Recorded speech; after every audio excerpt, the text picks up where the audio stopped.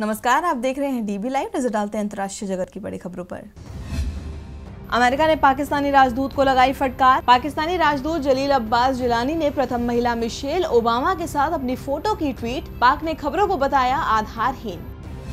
पाकिस्तान की उड़ी नींद। बलूचिस्तान में पाक चीन गठजोड़ के खिलाफ बलूचियों ने किया प्रदर्शन। जर्मनी में भी पाक के खिलाफ सड़कों पर उतरे बलोच कार्यकर्ता। लगाए PM Modi Balochistan love you के नारे। आईसिस के खिलाफ मिली बड़ी कामयाबी। सैन्य हमलों में सीरिया में मारा गया इस्लामिक स्टेट का प्रवक्ता Abu Mohammad al Adnani ISIS ने की पुष्टि।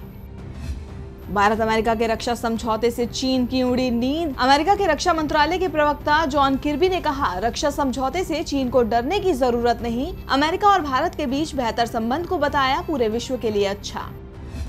ब्रिटिश ज्वेलर्स ने हॉलमार्क के खिलाफ छेड़ा अभियान। ब्रिटेन में 90 फ़ीसदी ज्वेलरी विदेशों से होती है आयात। 700 साल पुराने हॉलमार्क का दूसरे देशों में इस्तेमाल नहीं किए जाने की उठाई मांग। जापान के पूर्वोत्तर इवाते प्रांत में तूफ़ान का कहर, नौ लोगों की मौत, कई घायल। प्रभावित क्षेत्रों से लोगों को सुरक्षित स्थानों पर पहुँचाया गया। तो यदि अंतर्राष्ट्रीय जगत की बड़ी खबरें, देखते रहिए डीबी लाइव, क्योंकि यहाँ है खबरें लगातार।